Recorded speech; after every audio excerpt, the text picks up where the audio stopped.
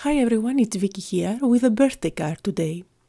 So today I'm going to use this beautiful stamp set by Stampendous. This is one of their latest releases. It is called Pretty Poppies and there are also matching dies. I am going to stamp on uh, watercolor paper and just because the watercolor paper has a little bit of tooth I'm going to use my Misti just to make sure that I can stamp again and again so that I get a nice impression because I am going to do some watercoloring later on, I am um, going to use my archival ink, which is a permanent ink and it's not going to smudge or smear when I apply water on my paper. To color my images, I'm going to use a brand new product. These are by Tonic Studios. They are called Nuvo Aqua Flow pens.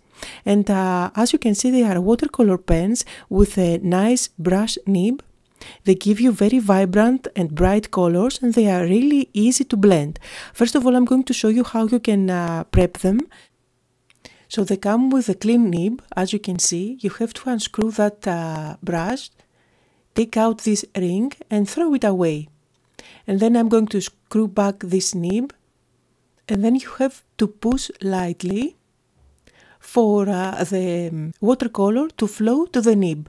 Don't push too hard, just a little bit will do, and you will see that uh, the watercolor starts to flow. And of course, you have to do that only the first time when you open them. Now, the flow is really beautiful, and I love the brush, it's nice and soft.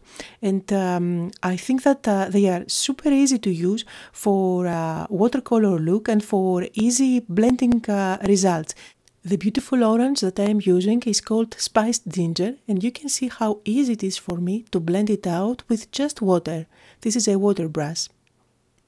And I'm also going to show you how easy they are to work together. I'm going to use spiced ginger again and uh, then I'm going to blend it with another color which is lighter and that's lemon zest. They do not contaminate one another, so the brushes are very easy to clean. And um, this is the exact uh, same technique that I will be using for coloring all my images.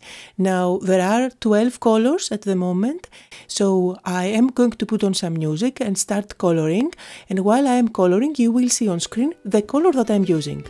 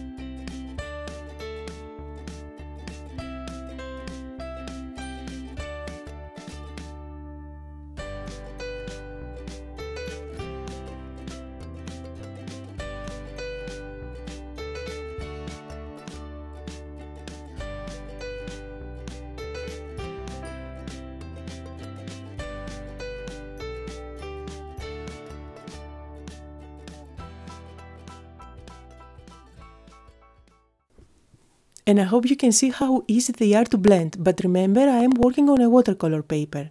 Now I'm going to blend this brown with uh, my watercolor brush, so that's just water.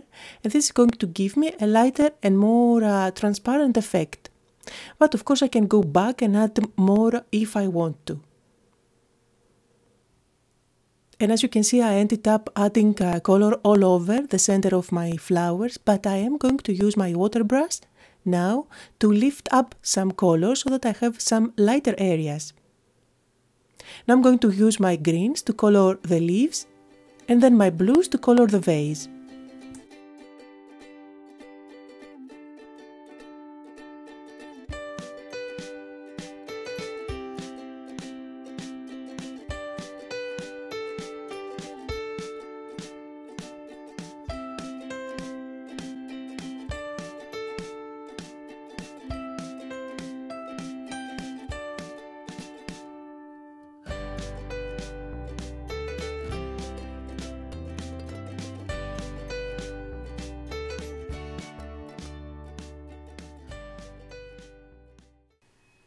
And here is one more technique that you can use them with.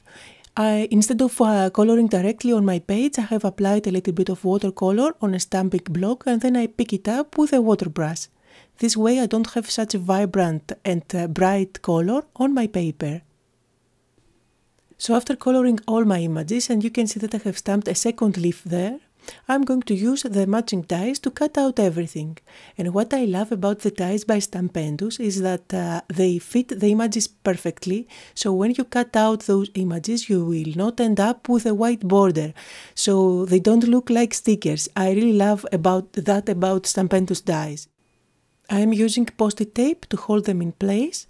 Now I'm going to run them through my Sizzix machine. And just to be safe, I'm going to run them through twice just because this is watercolor paper, it's quite uh, thick, the one that I am using. And I'm going to pop out all my images. And I hope you can see that there is no white border around and if you take your time to align them perfectly, you will get a perfect result. Now I'm going to cut out the second leaf and now I'm going to use the vase uh, die to cut out uh, the vase out of acetate. And I am planning to stick that on top of my vase because this is going to give the look of a glass. Now I'm going to stick that directly on top, but just because I don't want the glue to show, I'm going to use this uh, tape only at the top of the vase. This is good and strong enough to hold the acetate on top of my vase and I'm going to cover up that part of the vase with the flowers, so I don't really care if it shows. Now before I assemble my card, I want to do something interesting for the background, so I have cut out a piece of white cardstock and I'm going to place on top this Nuvo stencil with this beautiful design. I want to keep uh, the background quite subtle but and white, but at the same time I want to have something interesting like sparkle.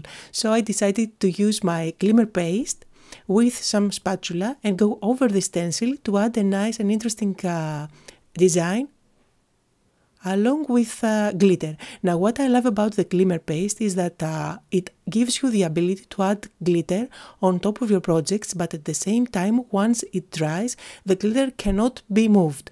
So it's a, a great and very mess free way to apply glitter on your projects. And glimmer paste comes in so many different colors. I think they are 12 if I'm not mistaken, but this one is uh, definitely a favorite. And once everything is covered up, I'm going to lift up my stencil and leave this piece of paper to dry. I didn't use a heat gun. I had to pick up the kids from school, so when I came back, everything was dry. You can see here how beautiful it looks. And uh, although I have played with uh, glitter, when I went to pick up the kits, I wasn't sparkling, which is great. So now it is time to assemble my card. For my card base, I'm using some white cardstock, which is four and a quarter by five and a half, a standard card. I'm using some tape adhesive at the back of this panel, and I'm going to center it on my card. This is going to leave a quarter of an inch um, border all around, so that's white on white, but still adds touch of dimension and a finished look.